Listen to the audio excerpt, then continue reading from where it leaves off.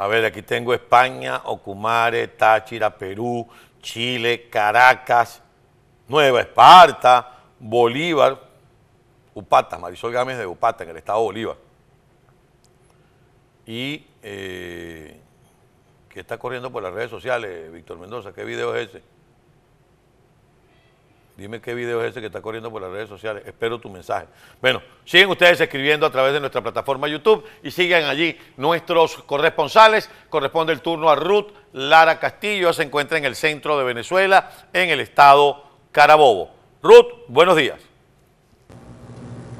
Gracias, Carlos. Buen día para ti y para todas las personas que se conectan a esta hora. Desde Carabobo les comentamos que luego que en días pasados un grupo de organizaciones eh, pues, protestara en Caracas, solicitar a la Asamblea Nacional de Nicolás Maduro la despenalización y legalización del aborto, en esta región se pronunciaron representantes de la Iglesia Católica quienes rechazan esta solicitud. Ellos piden que por el contrario se revisen las leyes relacionadas con la adopción, consideran que esta sería una alternativa para evitar lo que llamaron el asesinato del futuro. Ellos aseguran que han presentado algunas propuestas a la Asamblea Nacional, no han sido atendidas, piden que se tomen medidas y que se evalúen estas propuestas. Además señalan que en caso de que se considere esta solicitud que hicieron recientemente algunas organizaciones y que piden pues que se legalice el aborto, que antes se ejecute, que se lleve a cabo un referendo consultivo para conocer si los venezolanos desean o no la legalización del aborto en el país. Por otra parte, les comentamos que en esta región continúan las fallas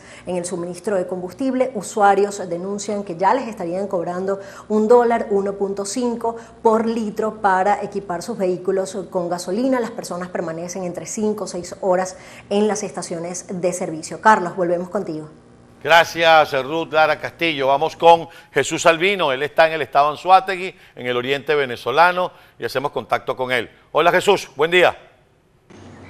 Gracias, Carlos. Aquí eh, hacemos un contacto desde el estado de Anzuategui, específicamente desde Puerto La Cruz. Nos encontramos en las afueras del conjunto residencial Doral Beach, donde ocurrió una situación irregular de intentos de ocupación ilegítima por parte de algunas personas que se hacían pasar por funcionarios eh, del gobierno y estaban haciendo un censo para estos beneficios de bolsas alimenticias. Hicieron este censo y eh, posteriormente identificaron cuáles eran los apartamentos que se encontraban vacíos, realizando la ocupación ilegal de los mismos. Estos apartamentos son propiedad privada de algunas personas que eh, no se encuentran en la región, algunos están viviendo en otros estados de Venezuela, otros están eh, fuera del país, pero eh, sin embargo pues sigue siendo una ocupación ilegal y una invasión a lo que es la propiedad privada.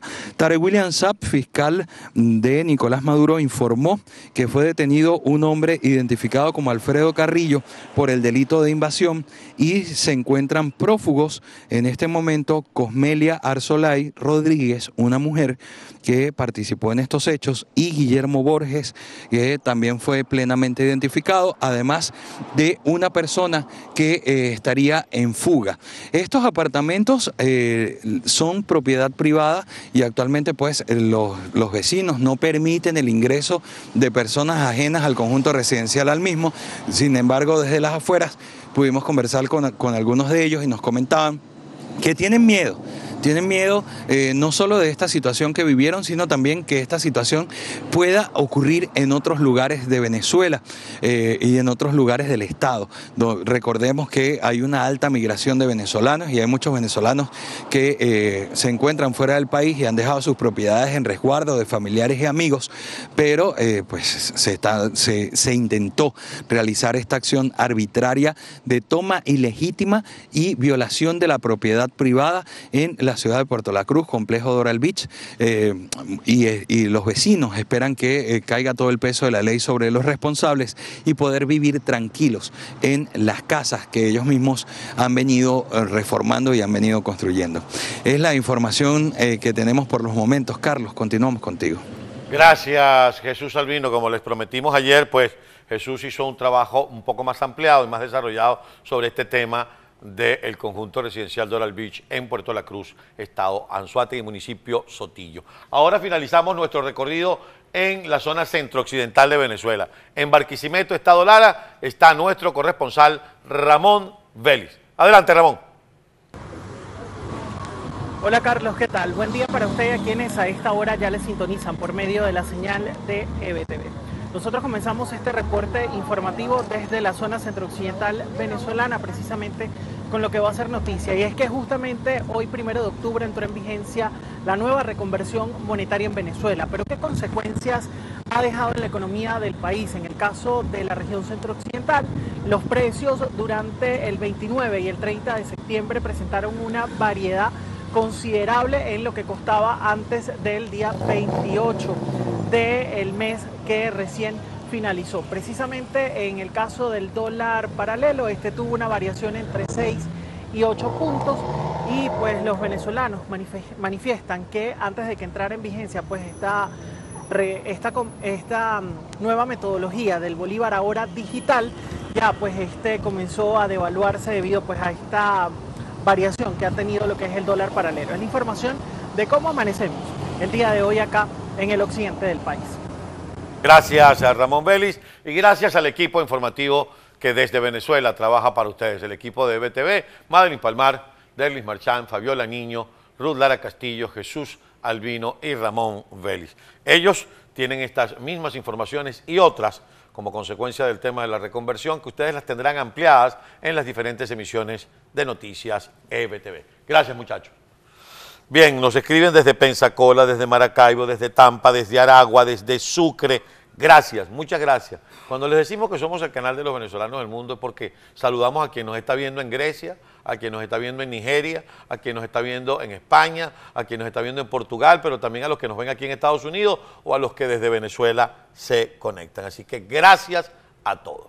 Bueno, antes de irme a la pausa, tengo que decirle, mañana es sábado. ¿A qué comienza, Gerardo? ¿A las 10? Los sabores de la mañana que esperan por usted. ¿Dónde? En el brunch de Barbecue 58, de 10 de la mañana a 4 de la tarde. unas papas al horno, con una picaña, un huevo frito y un ramal de patatas, de patatas fritas. Ahí está. Ah, qué maravilla. La sopita, que mi amigo el cumpleañero le echa arroz, ya ustedes van a ver cómo le pone arrocito. No hay manera que ese hombre se coma una sopita, ahí está. Ah, arroz. Y mira la copita con la mimosa al lado. Y el hombre se da, y ahora que está cumpliendo años, dice, mimoseando, mi niña, mimoseando. Pues esta es la semana de la patria, se va a cumplir años hasta la semana que viene. Ah, ¿dónde lo vamos a festejar? Bueno, los sabores de la mañana esperan por usted en Barbecue 58, con un menú extraordinario y por supuesto la mimosa para que usted mimoseando, mi niña, mimoseando. Vaya, Barbecue 58, aquí mismo en la calle 25, la mimosa, ahí está. Ah, aquí mismo en la calle 25 del Norwest, en la ciudad de Doral, frente al comando de la policía del condado Miami-Dade. Ahí está Barbecue 58 desde las 10 de la mañana y hasta las 4 de la tarde el gran brunch. Bueno, y están los otros platos que usted puede disfrutar y que son ya, si se quiere, icónicos de Barbecue 58. Y la carne. Comer carne en Barbecue 58. Vamos a comer una parrillita. No. Vamos a vivir una experiencia única a la hora de comer carne. Así que nos vemos este fin de semana en el brunch de Barbecue 58 de 10 de la mañana a 4 de la tarde, mimoseando mi niño, mimoseando, vaya, mimoseando mi niño, mimoseando, vaya, mimoseando mi niño. Mimoseando.